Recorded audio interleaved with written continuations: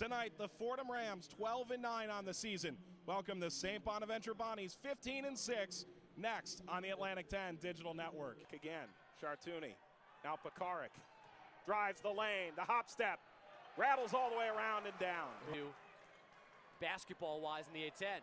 Pekarik lays it in with two hands. He nearly skied for a jam. Instead, he's got Fordham's four points. It has Chartouni, two to shoot. He launches. Oh, he hit it. Right at the buzzer.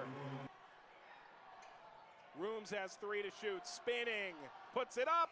Off the glass again at the horn. A couple of emphatic dunks in the early going. This is a lob. Rhoomes has to put it off the glass, but it counts for two regardless. Left corner, Posley Missed on the inside of the rim and a long outlet pass from Anderson. Severe, the bounce pass, Rhoomes lobs it off the glass and scores. Uh, Fordham offense struggles to put up points. Sengfelder's got three to shoot. Now Pekarik, spot up three. That's good. Four points to begin the game for the Rams. He's got the first three points of the second half as well. Those three get the Bonnies going here after halftime. Pekarik nearly walked. Now he tries a three. 10 points for Pekarik. But it didn't go down. Posley dribbled it off a Fordham foot. Anderson cross court. Zarkovic drives. Rhoomes working on Tyson. In the middle of the paint, Anderson flips it up and in. There are fans yelling airball, but that would simply be a short sighted effort. Pekarik, that's good.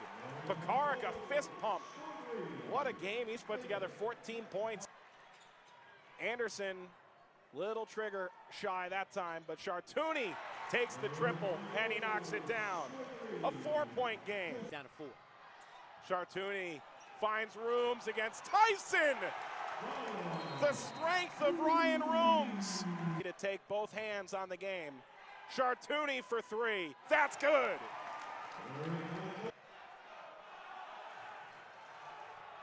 Competing chance in the Rose Hill Gym.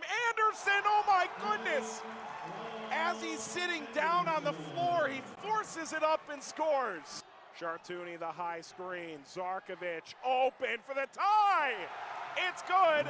We're tied at 59. Pekarik, contested three.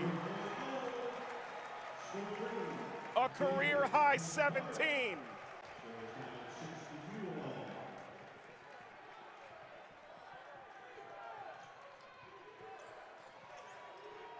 Knocked away from Posley.